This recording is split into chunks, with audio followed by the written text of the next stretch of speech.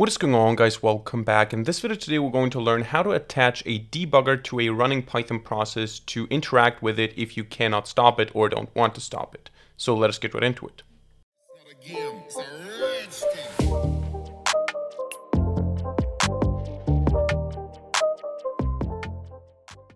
Now, I want to get into this right away with a practical example because you might be asking yourself, why would I ever attach a debugger to a running Python process instead of running this Python script already in debugging mode? So why would I do it after the script is running? Why would I not do it in the beginning? And of course, you're right, the best way to do it is to already start in debugging mode, but sometimes you make mistakes, sometimes you miscalculate things and you need to do it afterwards, which is what happened to me a couple of days ago. I was solving an algorithmic problem using a heuristic in Python, so I had a script running, constantly keeping track of the best solution and finding new solutions, but I wasn't printing them and I wasn't writing them to a file or anything because I expected the script to terminate after 30 minutes and then it would write the solution onto the screen or into a file. The problem is the script was running for an hour and it didn't seem like it would terminate anytime soon. And I didn't want to run all this thing again, uh, all this stuff again. So what I had to do, I had to take a debugger, GDB to be precise, and I had to go into the process to extract the information that I need at this particular point in time, and then I can continue running the script. So this is what we're going to learn in this video today, a quite exotic thing, but you might need it at some point. And we're going to do it with an actual example, with an actual use case. We're going to solve an algorithmic problem. We're going to do it in a very simple way. The focus is not on the problem itself. The, fo the focus is on the mechanism of attaching a debugger. So the problem that we're going to solve is the knapsack problem. This is an NP-hard problem, meaning it's not very easy to solve. You basically have to go into exponential runtime um, complexity issues. And the basic idea is you have a knapsack or a backpack with a certain capacity. You have different items with different um, capacity they take away, so with a different size, and they have a certain value. And you want to fill this knapsack with uh, the optimal configuration of items so that you exceed uh, so that you don't exceed the capacity and you have the maximum value. Now, what we could do here is we could just use a naive approach and try to find uh, the optimal solution by trying all the solutions. And this is what we're going to do in this video today, just so I can show you a process that takes a lot of time. So we're going to start here, first of all, by importing random and by importing, um, or actually by saying from itertools import combinations. And we're going to set a seed so we have a reproducible randomness here. And then we're going to say basically we have a couple of items. And since I want to spend a lot of time doing this, I don't want it to be done like this. I'm going to generate a lot of items here randomly. So I'm going to say we're going to have the name item. Let's make this an f string item and some number, which is going to be i. And then we're going to assign a random integer here between 1 and 10, which is going to be uh, the size. And then we're going to have also the, or the weight you could say, and then we're going to also have um, the value of the item, which is going to be between 1 and 20. This is what we want to maximize. And we're going to do that for i in range. And we want to have 200 items like this. So item 1 up until item 200. Those are just some items with values. And I can print a couple of them here now maybe the first 10. You can see we have item 1, which has a size of 7. Item 2 also size of 7. Uh, what's the problem here? Oh, random, randint, like this. Uh, you can see we have always a weight or size, and then we have um, the value of the item. And now we want to find a configuration that doesn't exceed a maximum. Let's use weight, not size. Let's say the weight, the maximum weight we want to carry is 100 units, whatever the units are. So this is the problem I want to solve. I want to find the best configuration. So what I'm going to do is I'm going to say best value equals zero. I'm going to say best combination is in the beginning an empty list. So we have nothing in the knapsack. And then I'm just going to say for i in range length items plus one. The basic idea here being we can have one item in the, in the knapsack, two items, three, four, five, and so on. And we're just going to go through all the combinations. So for combination in combinations. And I'm going to say from the items, I want to pick i items, which is the outer loop. Again, the focus is not too much on the algorithm, which is why I'm rushing through it here. So don't focus too much on the functionality here. I'm just de de designing a script that works. Uh, we're going to say the total weight of this particular solution is going to be the sum of the following list. Item weight for item in the combination. And then we're going to uh, say we also have a total value, which is going to be the exact same thing, but with index 2.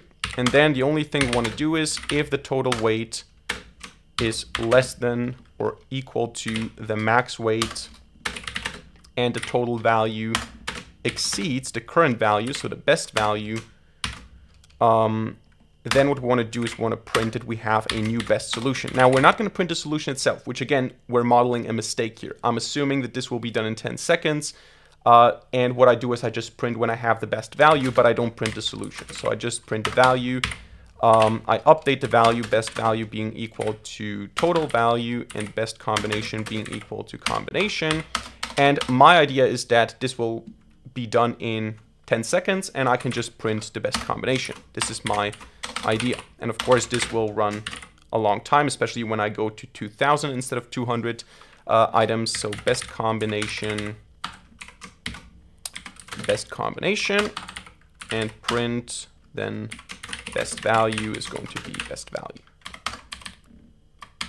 like this. Okay, so that is my script now, and I made the mistake to assume that this is going to be done in 10 seconds, which of course, when I run this, you can see it keeps track of the solutions, but it keeps running and running. Um, and I don't know how long this is going to take. Definitely when I increase this to 500 or something, it will take almost forever.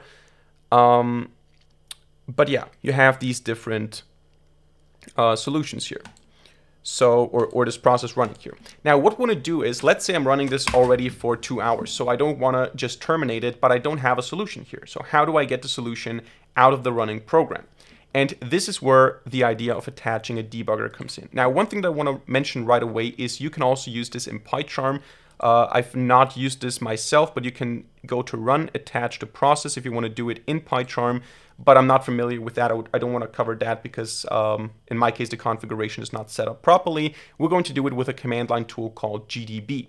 Now, GDB is actually a C debugger, but we can also use it uh, I mean, it's not limited to C, but usually you use GDB for C debugging, but you can also use it uh, use it to the to debug Python scripts. So what we're going to do now is we're going to use a terminal first of all to install GDB. So you need to install the tool GDB. And you can also do this in the Linux, uh, Windows subsystem for Linux in a WSL. If you're on Windows, on Linux, you can just install GDB with your uh, package manager. And now we have to specify a process ID. Now to get the process ID of this particular process that we're running, we need to first run the process and get it. So we run the process, we go into the terminal, we use the command ps aux, and then we use a pipe to grab everything that has to do with Python.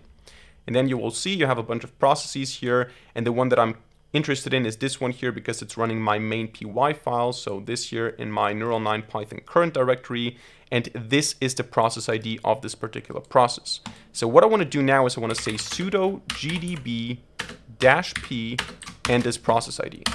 And what happens now is I'm in the process. I now attach this debugger to the process. You can see attaching to the process ID.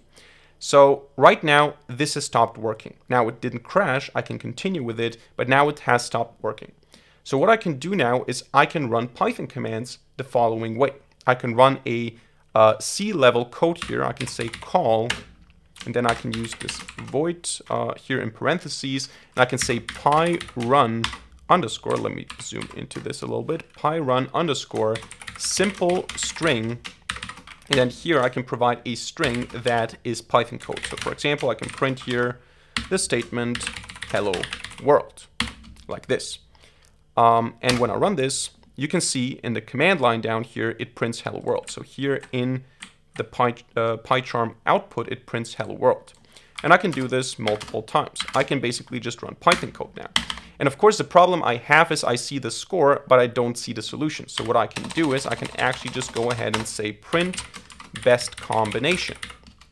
And when I do that, I get the result of the current configuration, which has apparently a score of 80 or a value of 80. You can see four items with value 20 each, so basically maximum value. Uh, and of course, the best solution would probably be five items uh, with value 20 but that is now the solution we currently have. And I can go even beyond that. I can actually go ahead and say, okay, I want to have a file stream. So I want to say import pickle And then what I want to do is I also want to say, okay, uh, the file pointer is open, and I want to open a file my list dot pickle in writing binary mode. Or actually, we can just, we don't even have to use pickle, we could, but let's just go ahead and write this to a text file. So my in writing mode. Um, so now I created a file pointer, and now what I can do is I can just write the content. So I can say f.write, maybe because the solution is too long for the output here in the command line. I just want to say f write, and what I want to write is a string version of best combination, like this. And then hopefully I would see my list, and I think I would have to flush this, right? Not sure. Yeah, there you go. So now we have the list or the combination written into a file. And you can do basically a lot of stuff like that. And this is, even though it might seem like a unnecessarily complex thing because you can just run it in debugging mode, there will be situations maybe at some point where you have to go into a process that is already running. And if you want to continue, by the way, the process, you can just say continue, and then it's going to continue running this uh, script. It at some point will probably find solutions like 81, 82. There you go. It continues. And now I can stop this again by just using Control C, signal interrupt, and I can do the same thing. I can print again the solution, which is the best combination. And now it's a different one here, as you can see. So yeah, I think this is a very useful thing to do. Of course, in the end, what you want to do is you want to detach. So I want to say detach like this.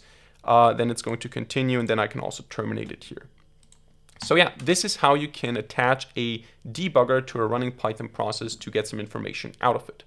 So that's it for today's video. I hope you enjoyed it and hope you learned something. If so, let me know by hitting the like button and leaving a comment in the comment section down below. And of course, don't forget to subscribe to this channel and hit the notification bell to not miss a single future video for free. Other than that, thank you much for watching, see you in the next video, and